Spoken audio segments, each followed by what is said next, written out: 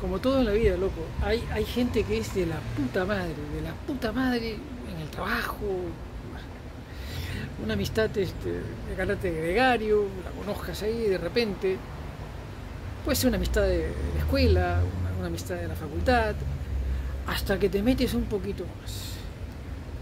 Cala un poquito más, cala un poquito más, conoce a esa persona más de cerca, intimida un poquito más con esa persona y vas a ver que te encuentras con un monstruo o, un, o, un, o una monstrua.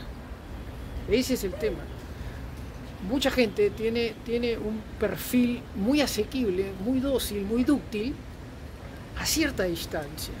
Pero métete un poquito, métete un poquito más, métete un poquito más para que veas el monstruo con el que te encuentras. Ese es el tema.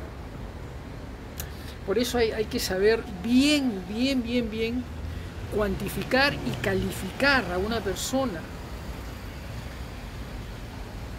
Cuando tienes algún interés, el interés puede ser eh, comercial, en mi caso personal generalmente son intereses comerciales, para hacer negocios, por ejemplo.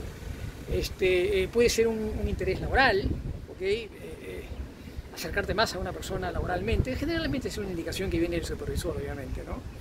O puede ser un, interés eh, eh, vincular, relacional, romántico, donde mmm, ahí te llevarías muchas sorpresas cuando te acercas a esa, a esa persona específica y te encuentras con que en realidad se trataba de un Frankenstein, ¿ok? Los voy dejando. Yo soy Miguel desde Southbridge.